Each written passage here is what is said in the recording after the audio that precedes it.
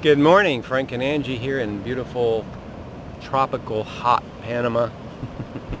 All right, I have a question for you. Can you believe it? Oh my gosh, really? Would you say that the Travel Abroad press has it just about right when they talk about Panama? Why or why not? Well, it's a self-fulfilling prophecy. when you funnel uh, tens of thousands of uh, wealthy foreigners to a small area, you know, uh, you know, there's consequences. So, uh, I mean, you know, you can sit here and say the glass is half full, you know, but it's half empty too. And what's in it? They don't tell you that, you know.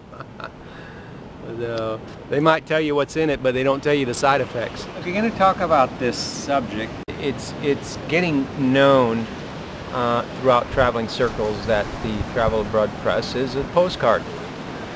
You know, uh, it may not be completely known that they have agendas, uh, but you know that's not such a surprise to me, really. Uh, but you know, you always have uh,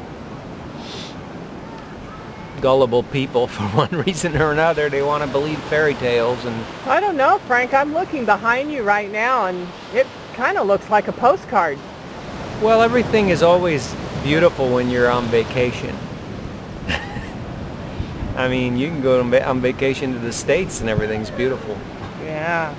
But you try living there as a resident and you'll see real fast that everything's not beautiful. It's just that you have to, you have to expect from a consumer standpoint that people that have something to sell generally speaking, you, you just, you're going to get a polished uh, view.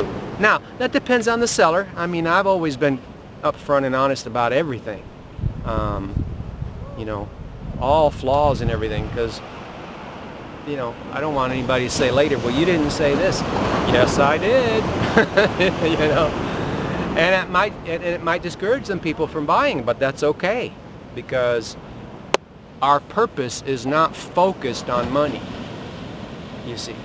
And when your focus is not the money, then you can do your calling, what you, you know, what what's fulfilling. Um, That's a good way to yeah. put it. So thanks for watching our videos. Stay tuned. More info. Let us know if you have any more questions about it. We put together some videos for you. We'll do the best we can. Some things we have to save for our guides. And uh, have a nice day. Frank and Angie, Panama. Wonderful, hot, tropical, and uh, humid.